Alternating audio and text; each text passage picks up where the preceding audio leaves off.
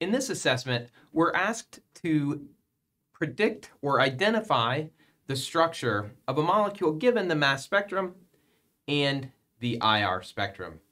Now, let me let you in on a secret. Using this light board with things projected, it's really hard with that sort of meteorology green screen effect. So I'm going to do my best. We're all friends. I hope you'll forgive that this one might be a little bit choppy. Uh, I, I, should point out, it's also this one is also solved in the book. So if you want to read along the words, and um, you might want to check it out there as well. But um, I'm apologizing in advance for this video. May not be perfect, but what the heck, we're friends. Uh, so let's start with the mass spectrum. And I've gone ahead and identified uh, three important fragments at 106, 91, and 78, all three of which have an M plus 2, an M to M plus 2, and a 3 to 1 ratio.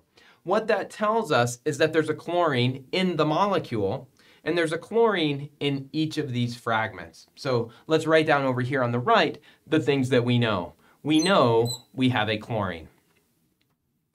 The other thing we know with an M and M plus 2 of 106, we know that the atomic mass of the molecule is 106 atomic mass units. So when we get around to proposing a molecular formula, we're going to do it based on that.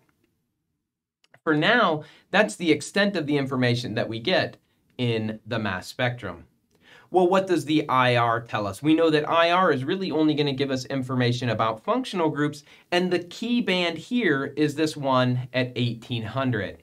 So 1800 is in that region where we would expect a carbonyl, but not a ketone or an ester or an aldehyde. Being that high really is indicative of having an acid chloride. Now, would we know always that 1800 means acid chloride? Probably not, but remember the mass spectrum told us there's a chlorine. So having this really high carbonyl band allows us to believe that this molecule contains an acid chloride. The rest of what the, the IR spectrum tells us is what's not there, right? We don't see an alkene around 1600. We don't see a CH band around 3100. So, so we kind of believe that the rest of the molecule is fully saturated. There's nothing in the IR to indicate the presence of an aromatic ring. So we have the rest of the molecule is fully saturated. So we'll write that down as something else we know, fully saturated in the remainder of the molecule. Now, here's where we can start to use some logic uh, that, that could be chemistry logic, but it could just be just logic, logic, uh, whatever that is. Uh, to start, this acid chloride functional group, COCl, its atomic mass is going to be 63 atomic mass units. We said that the original molecule contains 106, and this functional group alone contains 63.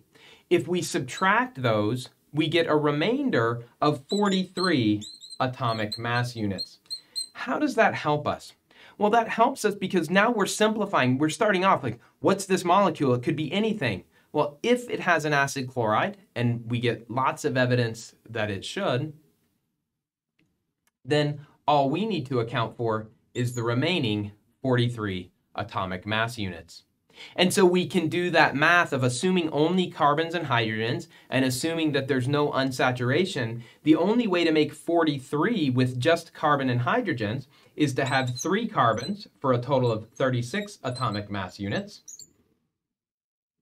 and seven hydrogens for a total of seven atomic mass units. Add those up and we get 43 atomic mass units. And so we can, the other piece of the molecule that we have present is this 3 C3H7 group.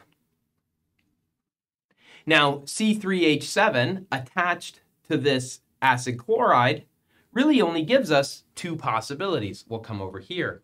Here's our C3H7, one, two, three, and then I'll draw in the acid chloride. Or we could have it attached as if it's an isopropyl, so C3H7 and acid chloride. How will we distinguish between those. Well, for that, we have to look more closely at the mass spectrum, specifically the fragmentations.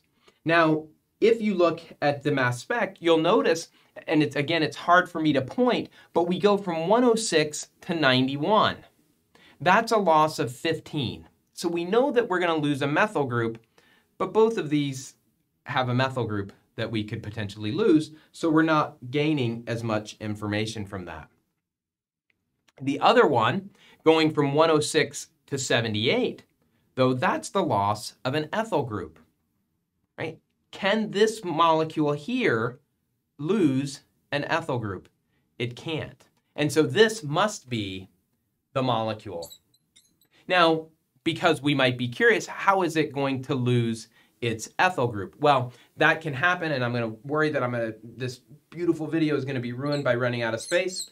That ethyl group is going to be lost in the McLafferty rearrangement. So sketching it here, this goes there, that goes there, that goes here to make this molecule plus that ethyl radical, the, the ethylene. So losing that ethyl group, because this one is the only one that had that 43 atomic mass unit, that C3H7, attached to the acid chloride. It's the only one that can lose an ethyl group. That must be the answer here. Again, if you if you're not sure what's going on, if this if this didn't work, uh, check out the solved assessment in the textbook as well.